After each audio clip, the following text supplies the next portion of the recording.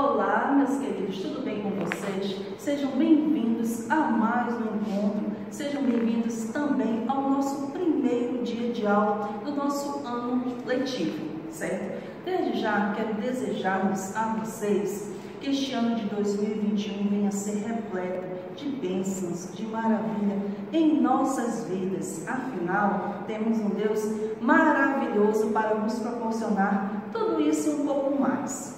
Bom, vamos lá. Gostaria também de agradecer a vocês, pais, por mais um ano de parceria, por mais um ano de credibilidade dado ao Instituto de Educação El Shaddai. O mesmo agradece e nós, professores, também.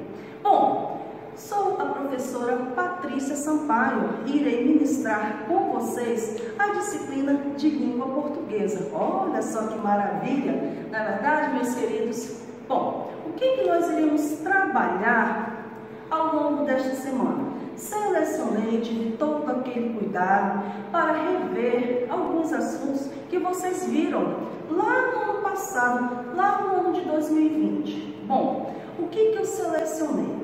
tais como pus para vocês sujeito, predicado, núcleo do sujeito, frase, oração, período, acentuação gráfica.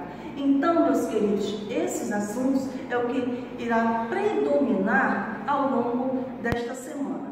Também pus também para vocês uma lista de exercícios que na qual você vai ter que ter todo aquele cuidado certo? Para cada encontro, você se organizar.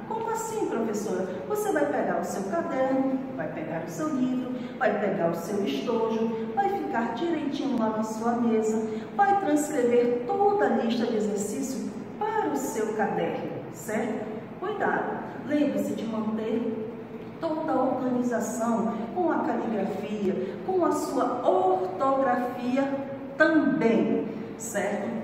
para que quando nós é, voltemos né, ao, nosso, ao nosso encontro, a professora Patrícia vai estar aí, tá, passando os vistos aí no caderno de vocês. Bom, meus queridos, desejo também que vocês é, mantenham sempre o carinho, mantenham sempre o respeito, mantenham sempre a gratidão, a solidariedade um para com o outro certo? Desde já agradeço a atenção de vocês. Vamos lá?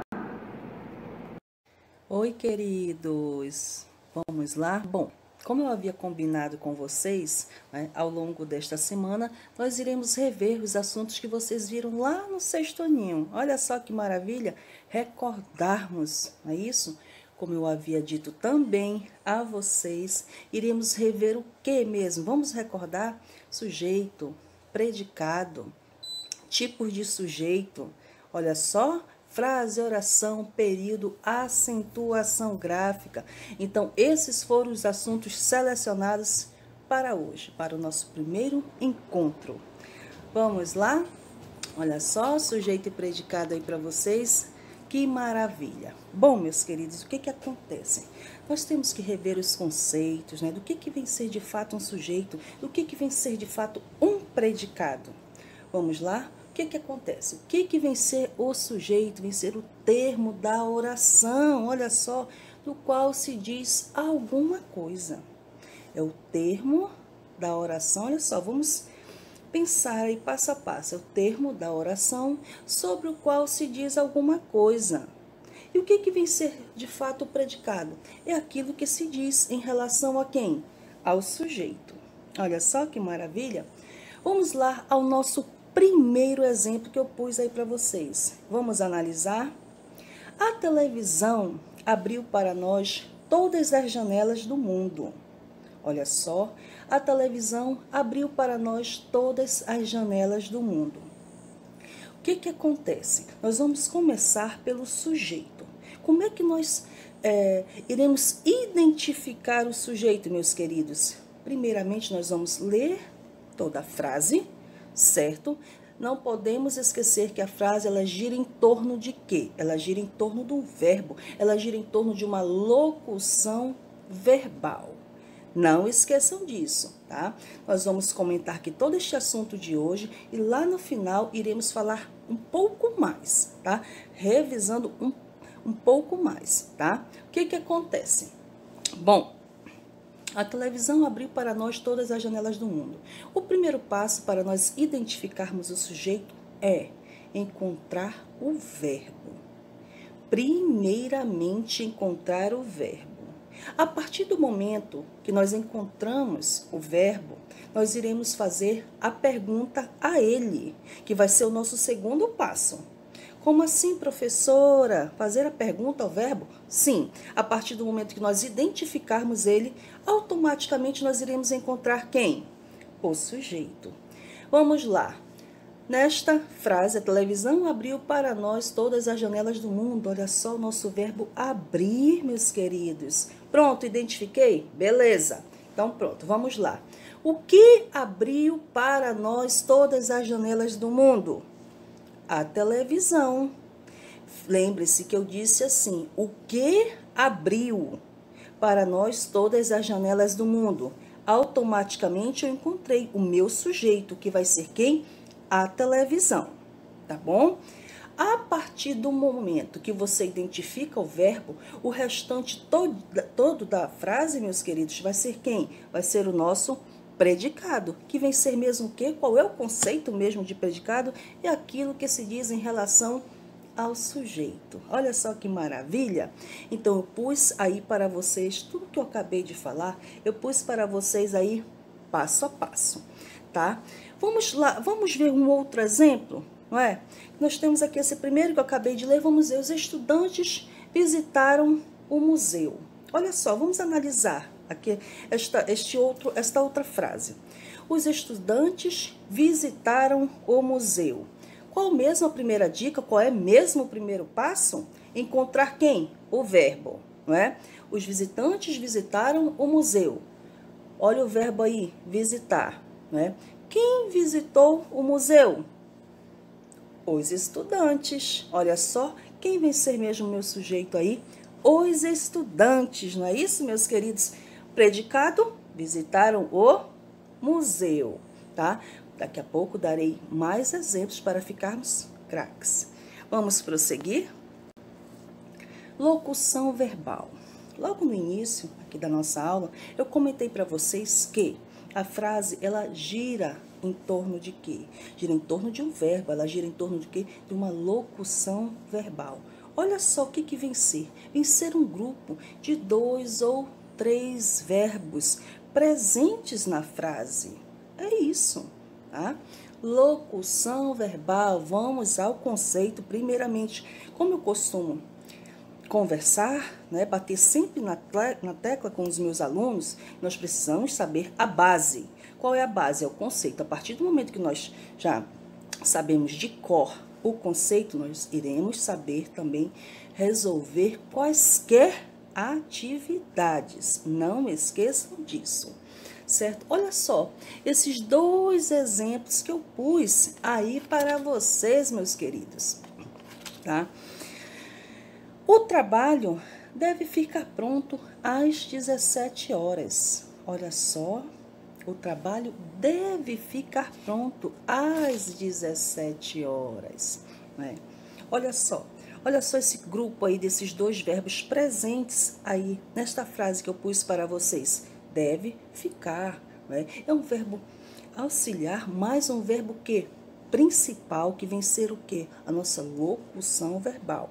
Queridos, uma dica: não esqueçam que, apesar de nós termos aí presente na oração a locução verbal, que eu já sei que trata-se de dois ou três verbos, mas ele irá contar apenas como uma oração, tá bom?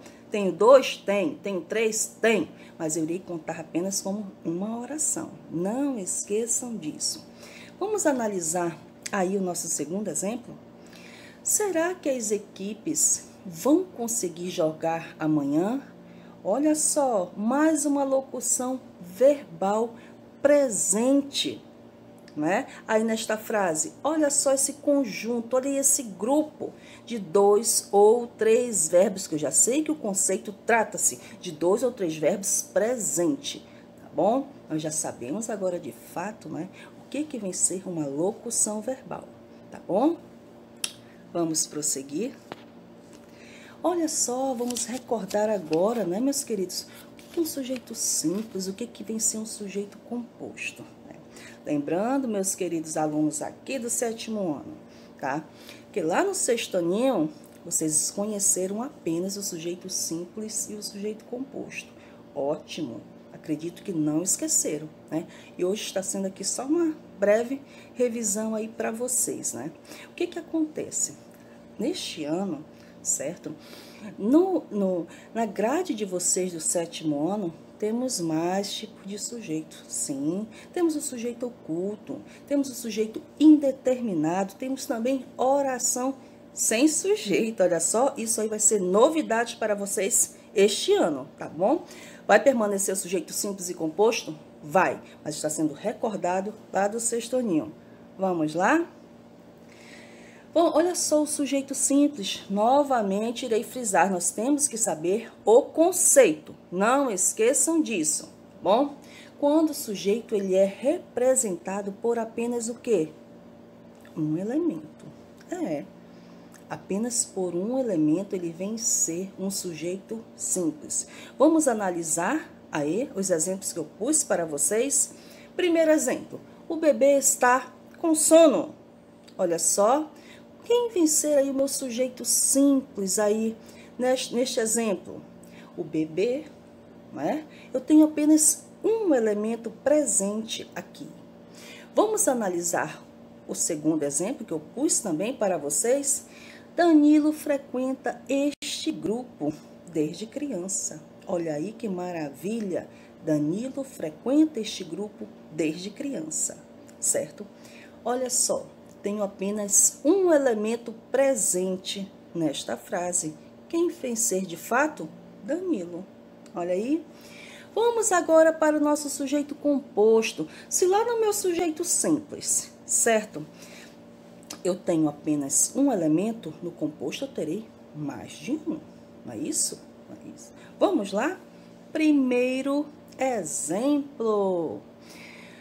Andréia e Carol viajaram para a praia. Olha aí que maravilha, André e Carol viajaram para a praia. Tem um sujeito composto? Tenho. Por que mesmo, professora? Vamos recordar, porque eu tenho aí de fato, não é? Dois elementos, não é verdade? Então, ele vem tratar-se de quê? De um sujeito que composto. Olha aí. Vamos analisar o outro exemplo? Bruno, Bianca e Edu, né? Preparar o churrasco. Olha aí que maravilha, né? Esse churrasco, não é? Bruno, Bianca e Edu. Olha só, não é? Tenho mais de um elemento? Tenho, não é? Eu tenho aqui três elementos presentes, porque o conceito mesmo de fato de um sujeito composto é que ele vem ser representado por dois ou mais elementos. Não é isso? Pois é. Bruno, Bianca e Edu vem ser o que mesmo? Meu sujeito composto. É isso? Agora vamos falar de um outro exemplo que sempre estou pondo um pouquinho a mais aí para vocês, não é? Vamos lá. Vovó e vovô virão passar o fim de semana conosco. Olha só, vovó e vovô virão passar o fim de semana aqui conosco. Que maravilha, não é? Vovó vovô. É sujeito composto? Sim, por que mesmo? Porque ele é representado por mais de um elemento. Não é isso? Então já sei que trata-se é, de um sujeito composto. Tá? Outro exemplo aí para enriquecer um pouco mais é, a nossa aula de hoje, porque nós vamos recordar, nós temos atividade para hoje? Temos. É? Cinco atividades aí para vocês no finalzinho da aula né? Tá? Praticarem. Não esqueço da caligrafia, não esqueço da ortografia, não esqueço da organização, porque vai ser essencial para nós. Não é verdade, queridos? Assim teremos somente o que? Sucesso. Né? Vamos lá. O repórter e o jogador estão no vestiário. Olha só. Vamos analisar mais uma vez o repórter e o jogador estão no vestiário. Olha aí. Tem mais, possui mais de um elemento? Possui. Venceu o que mesmo? Sujeito composto. Olha aí, que maravilha! Vamos prosseguir? Olha só, meus queridos, a posição do sujeito na oração.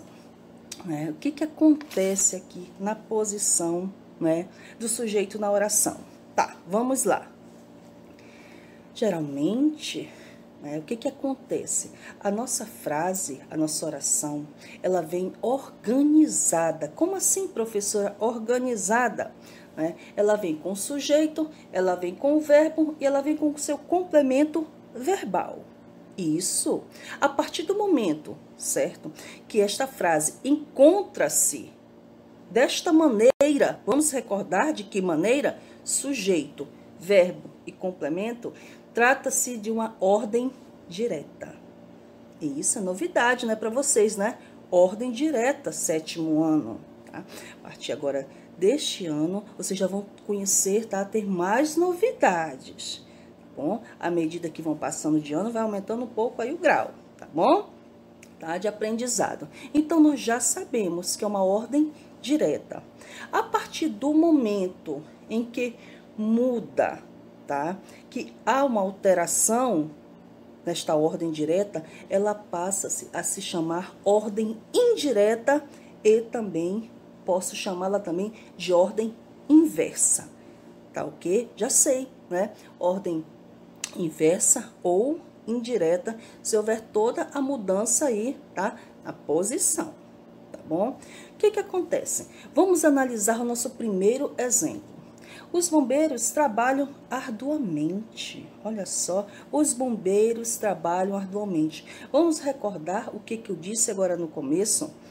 Está na ordem direta? Ótimo está. Por que, professora Patrícia? Porque olha só a organização, os bombeiros, quem é que vencer? Os bombeiros, na, na nossa análise aqui sintática, vencer o que? O nosso sujeito, não é? Trabalham, vencer o que? Nosso verbo, olha só. Arduamente, vencer o nosso complemento o que? Verbal. Ela está organizada, tá? Vai ser o que mesmo? Ordem direta. Que maravilha, não é? Estamos recordando muitas coisas, não é isso? Vamos analisar agora que o nosso segundo exemplo é a mesma frase, sim, porém ela foi o que? Modificada.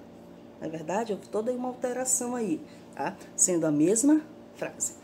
Trabalham arduamente os bombeiros. Olha só, tá na ordem direta, queridos? Não, não está. Olha só para onde veio o verbo, lá para o início da oração. Olha para onde foi jogado o nosso sujeito. Foi lá para o final da oração. Os bombeiros foi lá para o final. Então, nós já sabemos que é uma ordem que inversa ou indireta, tá? Não esqueçam disso. Vamos praticar bastante, porque o nosso livro do sétimo ano, apesar de vocês terem visto lá no, no sexto aninho, não é? Viram sujeito simples? Viram. Viram sujeito composto? Viram, mas eles ainda irão permanecer na nossa grade do sétimo ano. Tá? Não esqueçam do oculto, queremos conhecer, não, sujeito, não esqueçam do sujeito indeterminado, queremos conhecer, e das orações de sujeito, que faz parte desse conjunto aqui. Tá? Olha a observação que eu pus aí para vocês. Numa oração, o sujeito ele pode vir, tanto antes quanto depois do verbo. Olha só! Tá sendo boa, né? Estamos recordando muitas coisas, né? Ficaram de férias, né? Aproveitaram, mas agora chegou o momento, né? De tá com força total, né, queridos? Vamos prosseguir? Núcleo do sujeito. Olha só. Nós começamos, não é? Com o nosso sujeito, não foi isso? Foi. Conhecemos como é que nós encontramos o nosso sujeito, conhecemos o nosso conceito, como encontramos, identificamos o nosso predicado. Não foi isso? Tá, ótimo, já sabemos, vimos, acabamos de ver o sujeito simples, acabamos de ver o sujeito composto. Ótimo, maravilha. Só que agora a gente vai conhecer o que? Núcleo do sujeito. Olha só, núcleo do sujeito. Sujeito é uma coisa, núcleo do sujeito é outra.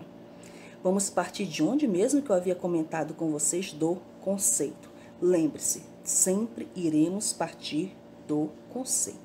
A partir do momento que nós memorizarmos, aprendermos né, o conceito, a gente vai saber resolver qualquer coisa. Vamos lá. O que, que vem ser de fato o nosso núcleo do sujeito, meus queridos? O núcleo do sujeito ele é formado por mais de uma palavra. Olha só, mais de uma palavra. Que maravilha! Só que, como ele é formado por mais de uma palavra, nós vamos ter que identificarmos qual é a palavra de suma importância, qual é a palavra que vem prevalecer, certo? Vamos analisar aqui nosso primeiro exemplo. Muitas crianças estão brincando no parque. Olha só. Muitas crianças estão brincando no parque. Tá. O que que acontece? Certo? Nós vamos identificar aqui, voltando lá para nós encontrarmos nosso, nosso sujeito, nós sabemos que aqui o nosso sujeito presente nesta primeira oração vai ser o quê? Muitas crianças. Certo? Eu já sei que isso aí é o meu sujeito. Não é porque eu fiz a pergunta quem? Ao verbo estão. Não é verdade? Automaticamente encontrei quem? O meu sujeito. Só que vocês podem perceber aí que temos aí é, que esse sujeito ele é formado por mais de uma o quê? Por mais de uma palavra. E eu disse o quê? Que vai ter que prevalecer a palavra que é mais importante. Não foi isso? Pois é, tá? Temos aí muitas crianças. Olha só aí o nosso substantivo crianças, sendo que o nosso núcleo do sujeito, ela irá prevalecer, tá? Vai ser a mais importante, tá bom? Então, não esqueça, é formado por mais de uma palavra? Sim, vou ter que identificar de mais importância. Quem vem ser mesmo? Crianças, o núcleo, tá bom? Vamos analisar aí o nosso segundo exemplo, né? Os, os amigos de meu irmão né, estudam nesta escola. Olha só, né? Os amigos de meu irmão estudam nesta escola. Tá. O que que acontece?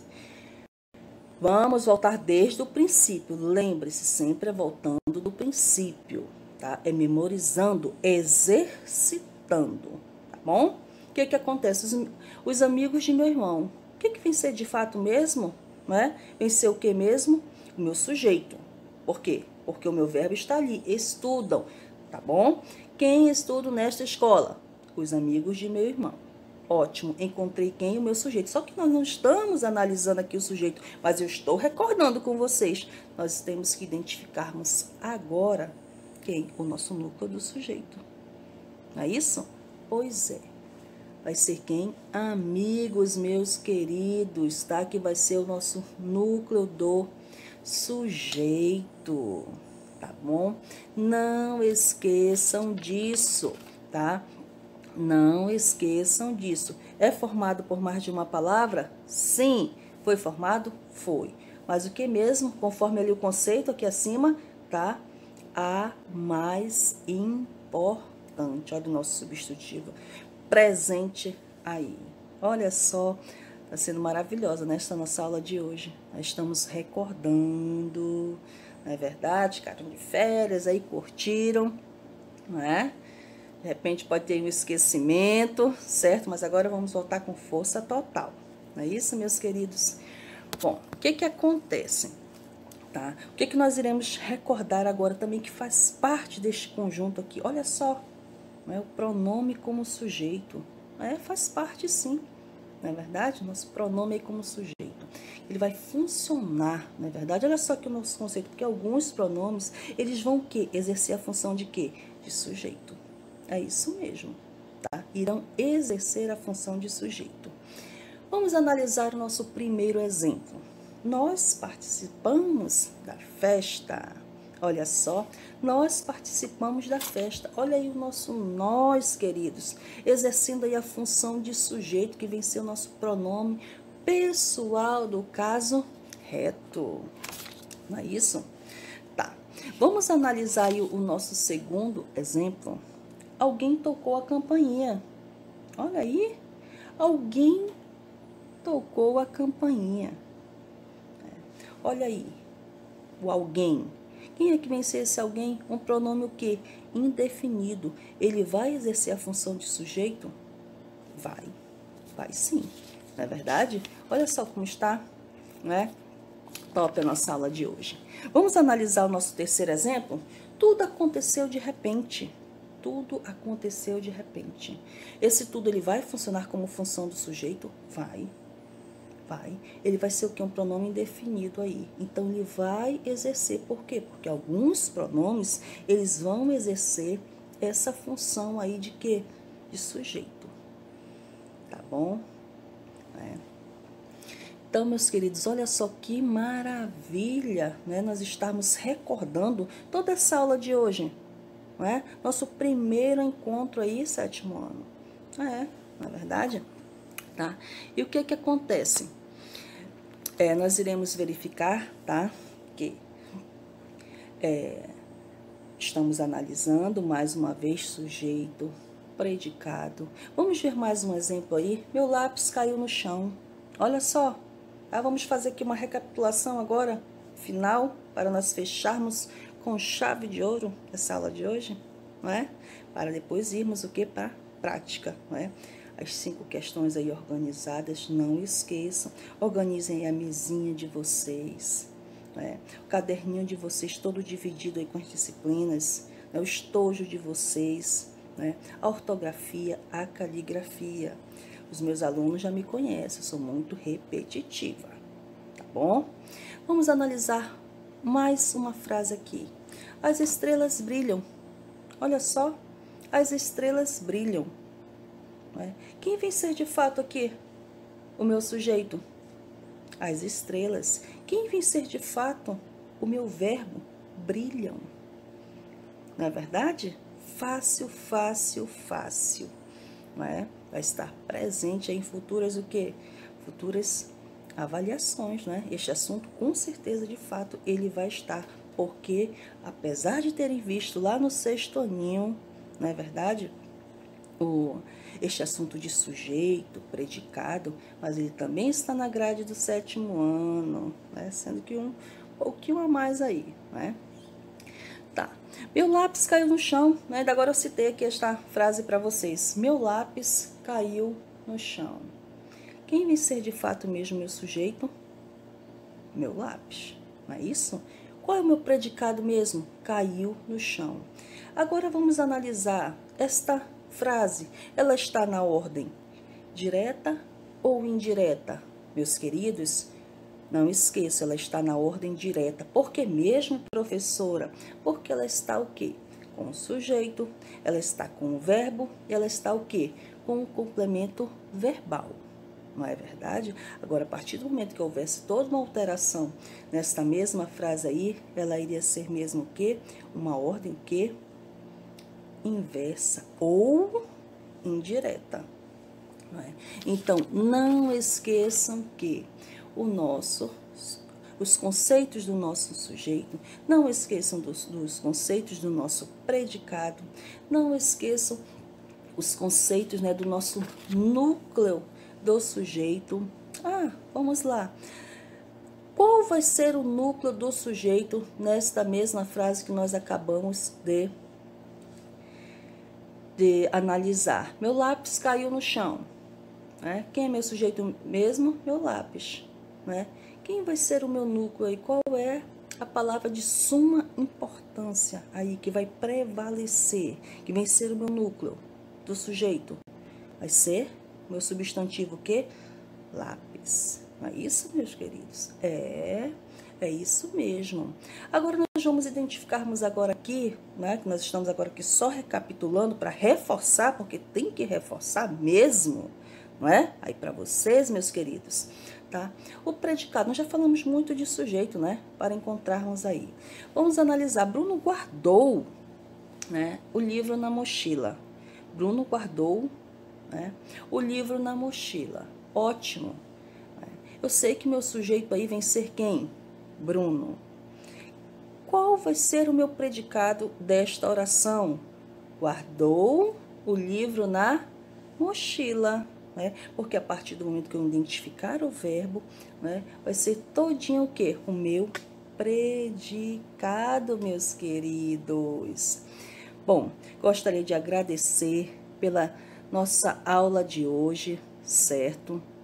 Tá? Prazer estar com vocês nesse primeiro contato, meus queridos. Tá? Teremos muitos né, serão maravilhosos. Obrigada pela atenção de todos, tá? Muito grata pela nossa aula de hoje, certo? E até a próxima.